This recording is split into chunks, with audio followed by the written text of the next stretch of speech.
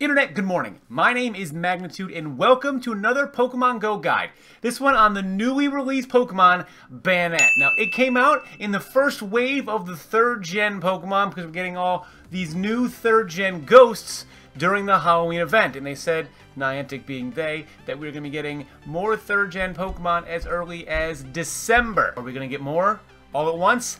I literally have no idea. But right now, let's talk about Banette. First and foremost, Banette is a straight up ghost. That means his type chart is, well, the same as all other straight up ghost types. He resists bug, he is immune to normal, which means he takes 0.51%, so about half damage, from all normal type attacks. He is weak to dark and ghost, also immune to fighting and resists poison, so not really a lot to go off of as far as type charts.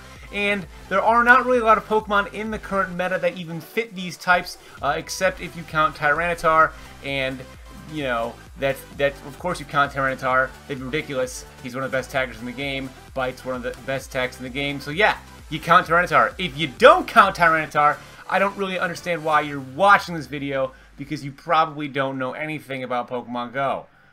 I don't mean to be rude about it, but Tyranitar is pretty good. But there are not really a lot of Pokemon that fit these types that are well used in the meta. There aren't really very many good ghost types right now. As far as fighting type goes, just pretty much Machamp. Poison types, you don't see any of them. Normal types, just Blissey, but you're not going to use a Banette against a Blissey anyway, and most Blisseys now have Dazzling Gleam for Tyranitar. And uh, bug types, you see a Scizor once in a while, you see a Scyther once in a while if you're me, because I use Scyther. Other than that, Banette's type chart is not really conducive to being useful in the meta. Let's run down Banette's stats real quick. He's got a max CP of only 2,074, which is not that high. But as I try to explain to people, CP is a conglomeration of its stats, and its stats are made up from its base stats from the game. So if you have a Pokemon with one high attack stat, and then low special attack, low defense, low special defense, your CP is going to be low, because that takes all of those into consideration.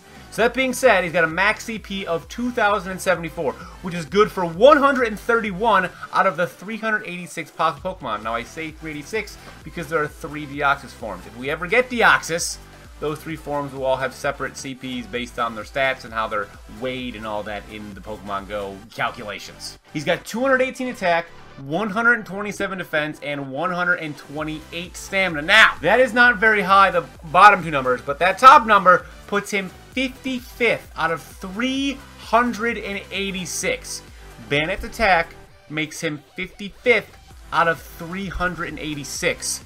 That is a top percentile right there. That is like top 17 percentile. Banette can hit hard, and Banette has the moves to deal damage. We'll get that in just a minuto.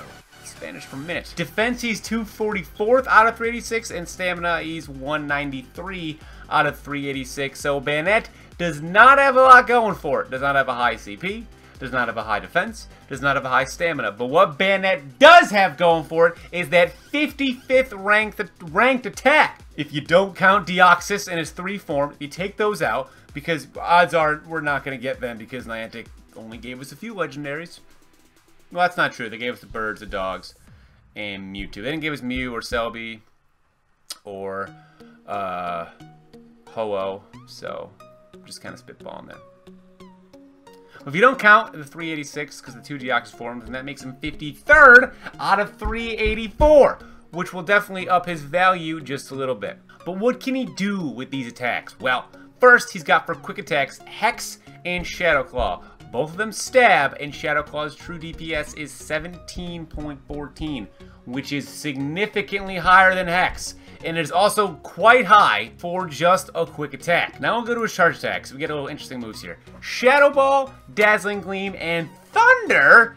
Thunder. Now while Thunder has a higher true DPS, its lack of stab and really lack of effectiveness in the current meta is going to hinder it. You see Dragonites often, so Thunder is not really going to be useful for Dragonite. You see T-Tar often, so Thunder is going to be the same as Shadow Ball because of stab. But obviously if you're going to get the flying type, then Thunder can, you know, you can go for Broke with Thunder. But Shadow Ball is one of the strongest attacks in the game because it is a 2-bar 100 and Banette gets stab on it. But let's talk about Dazzling Gleam for just a moment. One of the biggest attackers, as I mentioned before, and I went off on a little tangent on was Dazzling Gleam against Tyranitar. Tyranitar is a rock dark type, which means it is weak to Dazzling Gleam. Now, I don't know about your area of the woods, but in my Pokemon Go vicinity, Blissey have evolved from Zen Headbutt Hyper Beam to Dazzling Gleam because of the sheer amount of Tyranitar in the area. So if you have a Blissey that has Dazzling Gleam and you put it in a gym, there is a legitimate chance that if it is a high enough level, that is going to take out the Tyranitar because of Dazzling Gleam. Because this game does not have a physical special split like the uh, in-games do, Dazzling Gleam will have the same, uh, I'm going to use the word power here, the same, because both Dazzling Gleam and Shadow Ball use the attack stat. So while Shadow Ball gets stabbed, Tyranitar resists it. So Dazzling Gleam, while having a lower DPS, and not as much power behind it, because of obviously it not having stab, it is definitely worth looking into, because it also hits Dragonite super effectively, while Shadow Ball will not.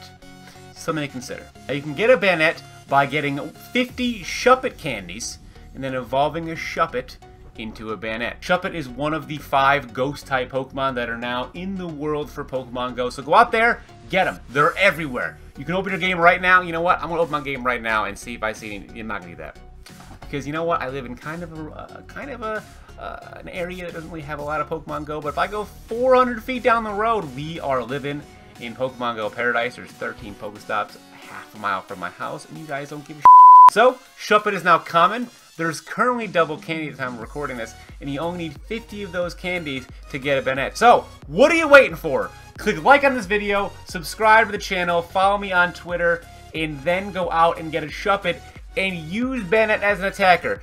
The definition of glass cannon will have just a photo of Banette. It is the perfect, perfect definition of that. It's hard, not a lot of defense, and then it goes off, and when it's done, I don't know, make it some food maybe. Maybe it'll, it'll pour you a beer. I don't know. Whatever Banette does after it's done banging out Pokemon. That was a euphemism. I'm sorry if you're a child.